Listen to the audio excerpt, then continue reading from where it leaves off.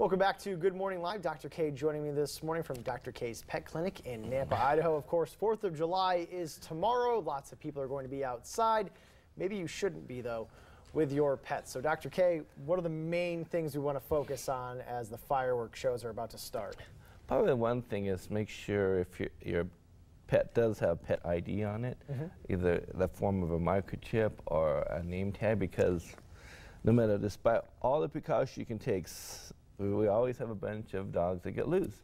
And the next day or two or three or four, we get calls saying, we found this dog with such and such rabies tag number, and we can look that up on the rabies tags number if they're from our clinic, or if um, the other thing that can happen, uh, they, they just get loose, and you got licenses, we can track them with that, and name tags, whatever. Make sure they're identified. Okay, I, I know we talk about this every year before the 4th of July when there's fireworks. is isn't the, the couple days after the 4th of July some of the busiest days for, for um, kennels, things like that?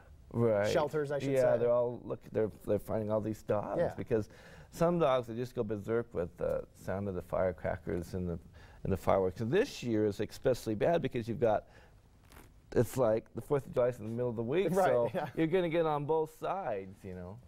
So we've already had a number of people ca- call in for tranquilizers when they know their pet can't handle it, and Okay. and we uh, prescribe those to them. And tranquilizers completely safe, right?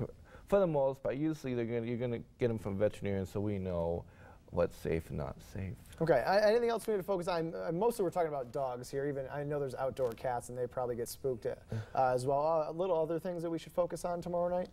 Yeah, you want to make sure if it's really hot that I would personally just leave your dogs at home, but Sure. some people take them and you want to make sure they have plenty of water uh, available because they can get dehydrated and you can get um, hyperthermia if they get overheated. You want to obviously there's a lot of food around. Just don't leave it lying around because your dog will eat it, and we'll get into that pancreatitis, bad stomach uh, episode.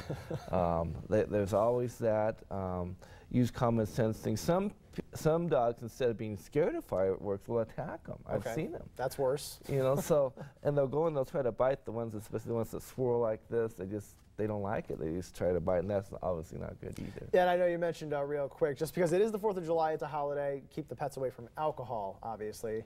Correct. And I, I know we've talked about this in the past, but it always leads to a, a chuckle or two on, on our segment. But yeah, keep the alcohol away from your pets, all right? And it is going to be very hot tomorrow.